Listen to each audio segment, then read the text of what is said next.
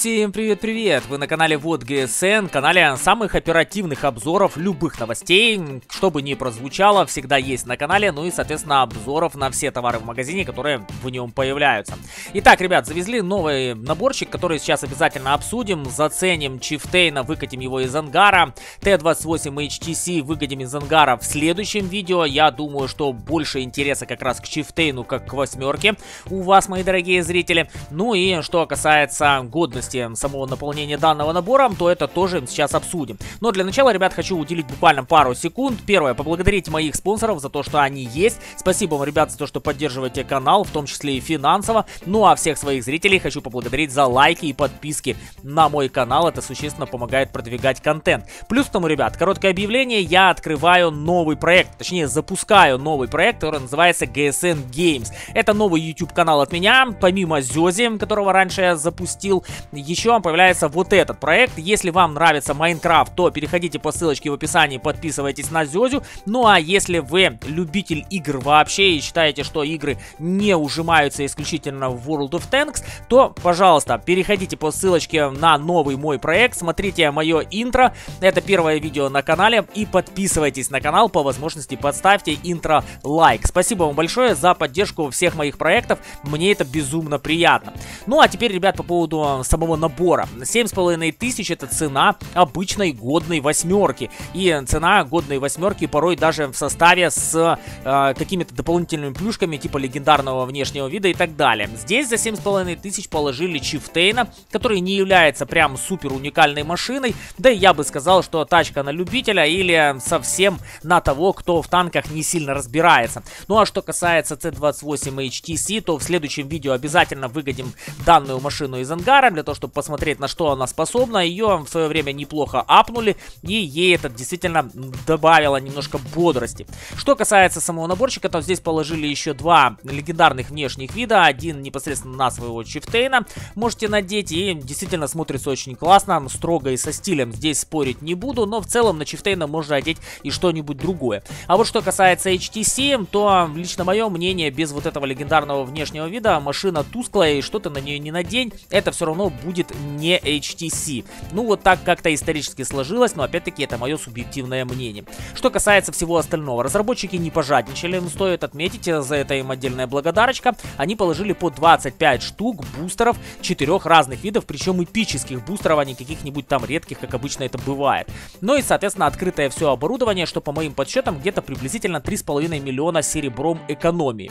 Вот такой вот наборчик, и стоит он или не стоит, ребят, очень сложно ответить, потому что для начинающего игрока, допустим, Чифтейн будет очень сложной машиной. Он не обладает броней, у него есть вот этот вот великолепный жбан, который сверху на башне, который выцеливается абсолютно спокойно, за какими бы укрытиями вы ни стояли. Да, есть какая-никакая прикольная приведенка по бортам самой башни, но опять-таки очень картонный корпус. В то же время стоит отметить, что машина в целом обладает неплохой подвижностью, к ней нареканий как таковых нет. Здесь у нас по двигателю все, в принципе, для тяжелого танка, коим заявляется Чифтейн, вполне себе нормально. 40 вперед и, что классно, 20 назад. Это действительно очень приятный показатель. Ну а что касается орудия, то здесь орудие такое впечатление, что от какого-нибудь среднего танка. 5,5 секунд время перезарядки, ребят. И мне этого настолько достаточно и не хотелось улучшать, что я поставил себе оборудование на дополнительный пробой, то есть на калиброванные снаряды. И благодаря этому имею 225 единиц пробития, что тоже очень круто.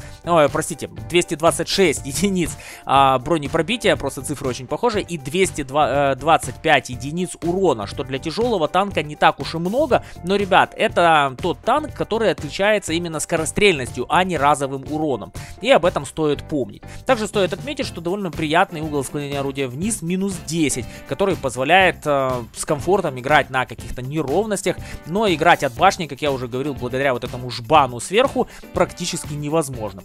Что касается времени сведения разброса, это все мы действительно сейчас э, заценим в бою таким, какое оно есть на самом деле, но обратите внимание, что время сведения 2,7.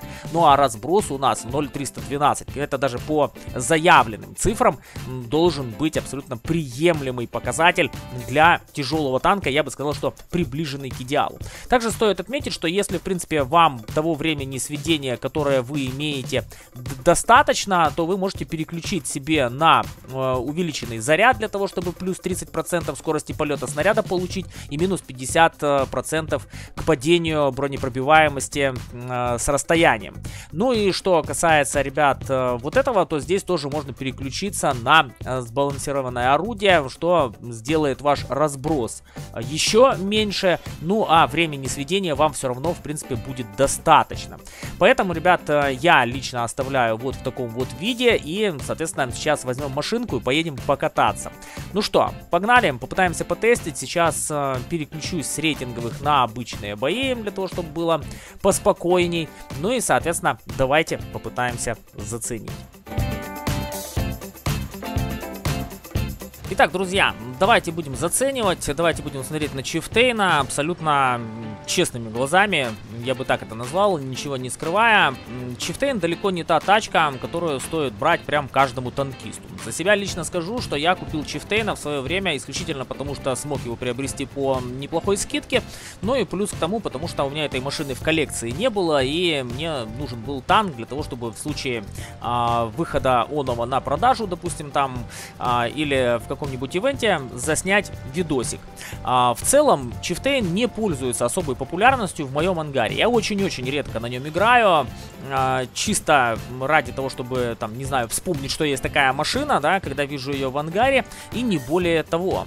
Если вдруг вы в поиске себе какой-нибудь первой а, годной восьмерки из разряда тяжелых танков, то Чифтейн однозначно не самый лучший выбор. Чифтейн это покупка, которая совершается по нескольким причинам. Первое, по незнанию, то есть э, молодыми игроками, не по возрасту, а по количеству времени, проведенного в игре, которые не знают, что такое Чифтейн. Чифтейн производит впечатление типичного тяжелого танка, симпатичная внешность.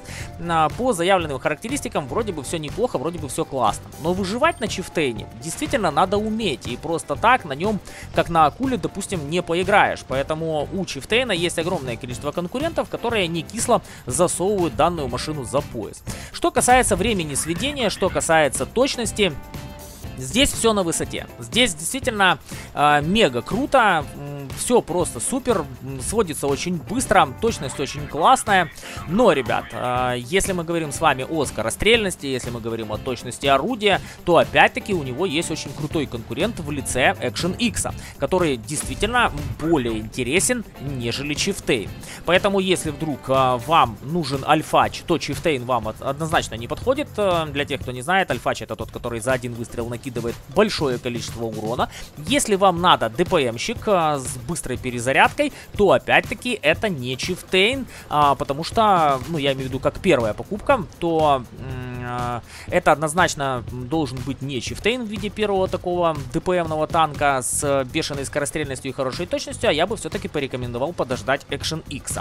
А, что же такое Чифтейн? Чифтейн это по бронированию средний танк, а, который пробивается всеми, не глядя. Даже если завязать сопернику глаза прямо на затылке, то он все равно, не сводясь особо, не выцеливая, будет вас попадать и будет вас пробивать.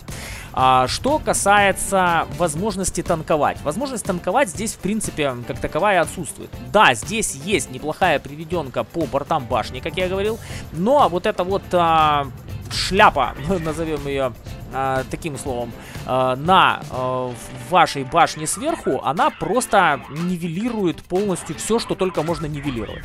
Но пробивают а, все, кому не лень, и если ты куда-то попадаешь в стычку в какую-то, то выжить в этой стычке у тебя шансов практически никаких нет. Тебя тупо разбирают, как вы видите, что в верхний бронелист, что в нижний бронелист. Да, есть вот рикошет по верху башни, но это больше, чем э, случайность. И как вы видите, что касается вот этой вот башни сверху на башне, то вот в ней опять-таки есть отверстие. Короче говоря, а, выжить на чифтейне действительно сложно.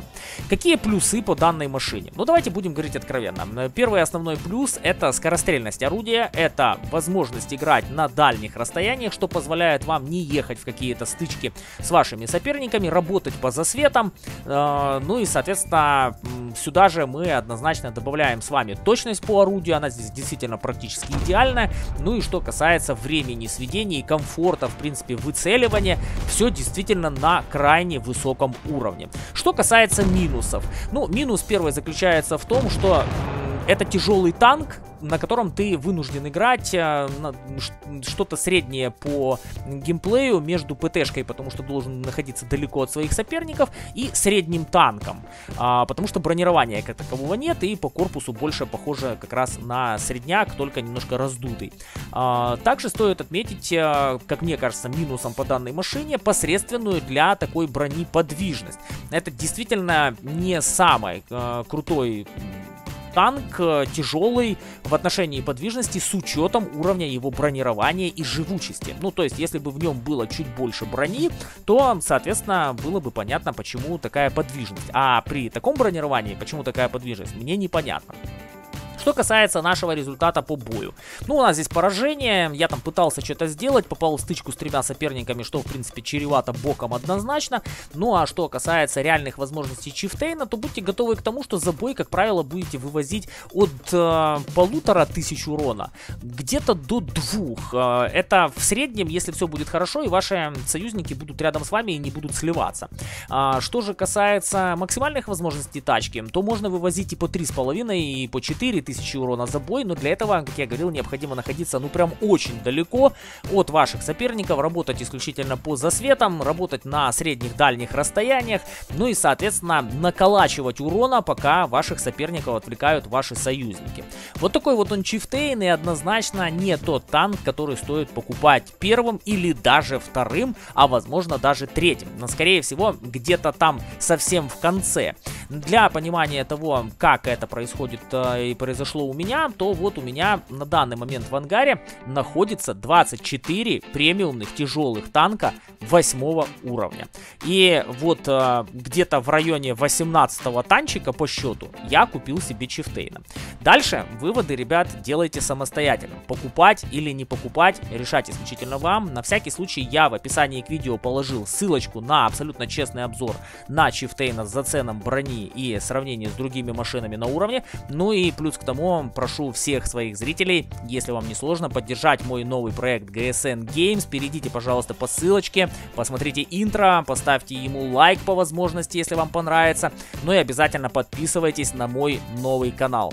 Ну а любители Майнкрафта, подписывайтесь на канал Зёзи, это тоже мой проект. Побежал снимать специально для вас, мира вам, друзья мои, и обязательно спокойствия. Пока-пока.